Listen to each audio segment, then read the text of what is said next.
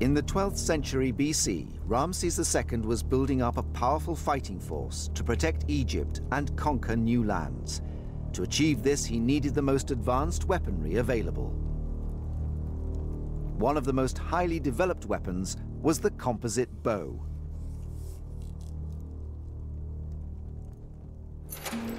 Stored away in the Cairo Museum is a unique set. These amazing weapons are 3,000 years old and have been magnificently engineered. Bows and arrows had been used for centuries by the Egyptians, but invading enemies like the Hyksos brought new technology. You have the Hyksos coming in with their compound bows, confronting the Egyptians. They can stand off out of range of the Egyptians and shoot them to pieces with compound bows. And the only solution the Egyptians have to that is to get the compound bow themselves. The Egyptians first used simple bows between three and six feet in length. These were later surpassed by the more powerful composite bow, constructed to achieve the greatest possible range while retaining a manageable size and weight. Inside here is an extremely sophisticated piece of engineering. The body of the bow is created using thin strips of buffalo horn, which keep their shape and act as a powerful spring during firing. The horn was then attached to a preformed piece of wood with resin and left to set for a month.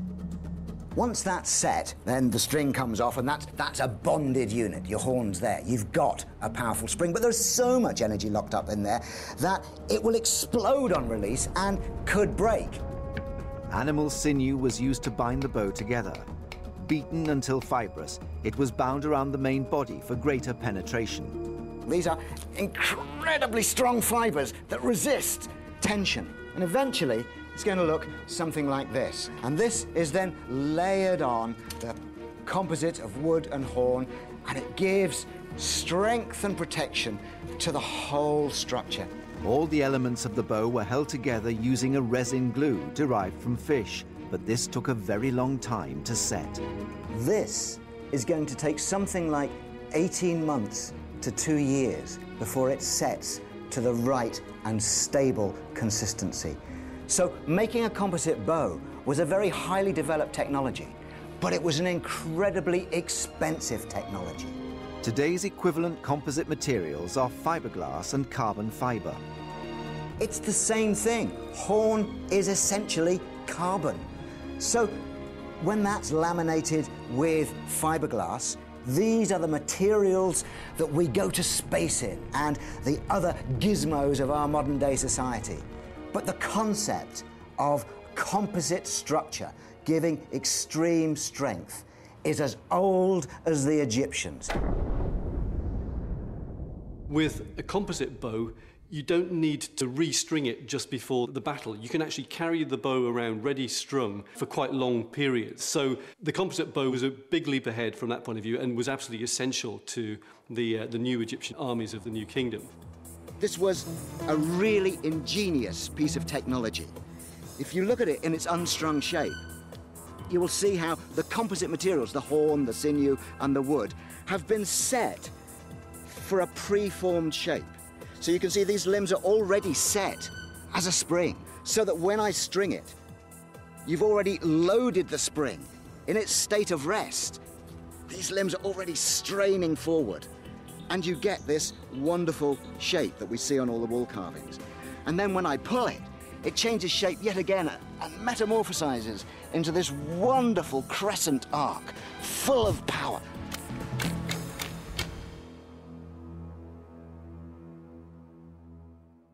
Taking 18 months to complete, the composite bow was considered a precious and revered weapon.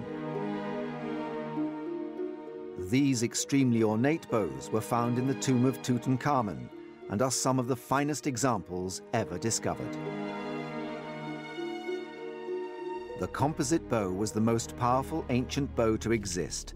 Its design was developed over thousands of years until it was perfect. But just how powerful was it?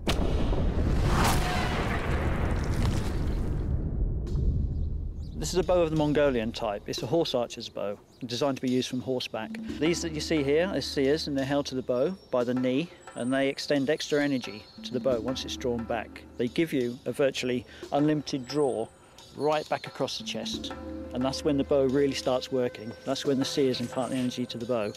This is a, a modern composite. It's a copy, and it's made with modern materials, which are which are quite good, but not as good as the original materials. They were made by craftsmen. They were very, very, very potent. I would say you're probably looking at something twice as powerful as, as what we use now. The speed of the arrow leaving the bow is incredibly fast. Only when we film at high speed and slow down the image can we see how effective and highly engineered this weapon really is.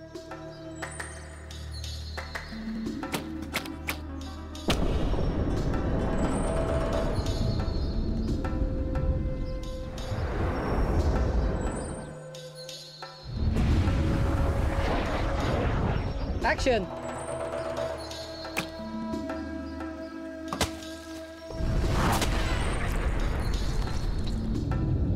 Yeah, you can already see the sears there, the slight sears starting to come in. Once the arrow is released, it actually bends around the bow to allow it to carry on straight. And then what it does is what we call fishtail, from side to side until it straightens up. And you'd probably be looking at probably close to 300 feet per second for an arrow. 300 feet per second. That's over 200 miles per hour. The impact from such a weapon would be fatal. Ramses II had amassed a powerful arsenal of weaponry to challenge the Hittites at the Battle of Kadesh. There was one more weapon which would be crucial in the outcome, the lightning-fast super chariot. Chariots became the most important piece of military equipment that a superpower could possess.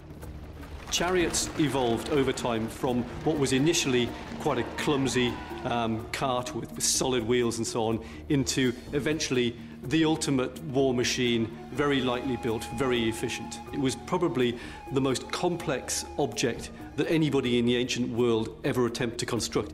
The warrior pharaohs of Egypt came into conflict with enemies who used fleets of chariots in battle, but only built up their own chariot corps through trade and seizure. Once they'd mastered the art of chariot building, the Egyptians developed their own vast fleets. Images on tombs show mass production of chariots being manufactured for battle. This was clearly a unique moment in, in history when, for the first time, the entire resources of a state were deployed to producing um, a chariot on what was essentially the, the, first production line in history. Recent uh, discoveries that were made at the site of Ramses' capital at Paramesses in the Delta have actually revealed a military industrial complex complete with workshops for manufacturing various types of weaponry and even essentially a store uh, house for chariots and parts of chariots. By the time of Ramses II, the Egyptians had not only adopted the chariot, they'd almost perfected it fine-tuning it into the most superb machine of the ancient world. The Egyptian craftsmen took the chariots and they're technically incredibly difficult things to make. The wheels, masterpieces of construction, but they made a light, fast chariot which was better than the enemy's chariots. Chariot expert Robert Hurford has built replicas of both Egyptian and Hittite chariots. It's a light, maneuverable, nippy job You can imagine it being uh, very manoeuvrable in tight corners uh, and uh, useful thing around a crowded battle scene.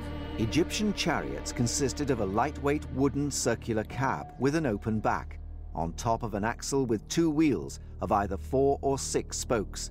The wheels were meticulously assembled.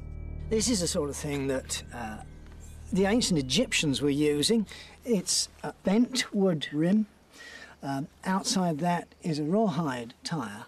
The spokes are actually braced by tyings of animal fibres round their roots here. And so that was the way it was done in the Bronze Age. The beauty of the Egyptian chariots was that they were strong but extremely lightweight and maneuverable. In contrast, the Hittite chariots were much heavier and more solid, good for charging through ranks, but much slower.